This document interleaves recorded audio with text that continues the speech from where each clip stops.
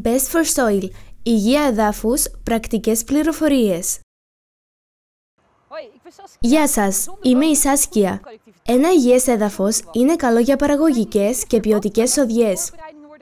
Είμαστε στο Swifter Band, όπου γίνονται προετοιμασίες για την καλλιέργεια χλωρής λίπανσης, ένας τρόπος για να διατηρήσουμε υγιές το έδαφος μας.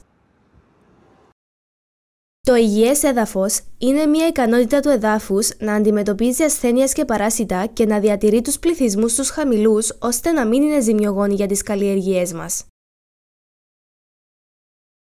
Ένα υγιές εδαφικό οικοσύστημα περιέχει πλούσια βιοπικιλότητα, ικανοποιητικές ποσότητες οργανικής ουσίας, μικροοργανισμούς, νηματώδεις, αρθρόποδα και γεωσκόλικες.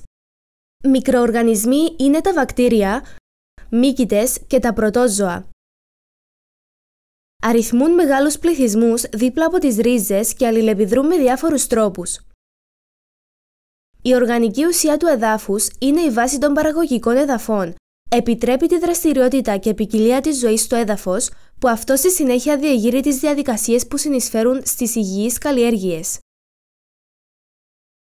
Τα μικρόβια εδάφους που διαγείρονται από την οργανική ύλη μπορούν να καταπιέσουν παθογενείς μικροοργανισμούς, να ελευθερώσουν θρεπτικά συστατικά και να σταθεροποιήσουν τη δομή του εδάφους.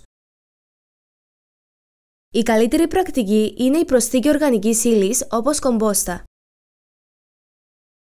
Πολλές γεωργικές πρακτικές μπορούν να βοηθήσουν το οικοσύστημα στο έδαφος να συνεισφέρει στην υγεία του εδάφους. Όσο περισσότερες πρακτικές συνδυάσουμε, τόσο μεγαλύτερη είναι η επίδραση τους στο έδαφος. Προληπτικές πρακτικές, όπως καλλιέργεια κάλυψης, προωθούν την υγεία του εδάφους με αποτέλεσμα πιο υγιείς καλλιέργειες. Εδώ βλέπουμε ένα καλό παράδειγμα συνδυασμού δύο πρακτικών. Καλλιέργειες κάλυψης και αναερόβια απολύμανση εδάφους.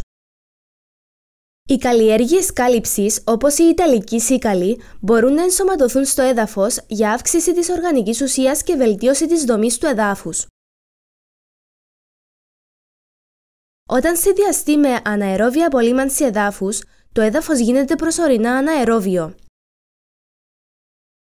Συγκεκριμένοι οργανισμοί διαγείρονται να αναπτυχθούν κάτω από αναερόβιες συνθήκες για να παράξουν ουσίες που είναι τοξικές για παράσιτα και ασθένειες. Με αυτόν τον τρόπο, οι καλλιέργειες κάλυψης ανακυκλώνουν τα θρεπτικά συστατικά, συντηρούν τη δομή του εδάφους και ταυτόχρονα το έδαφος απολυμμένεται.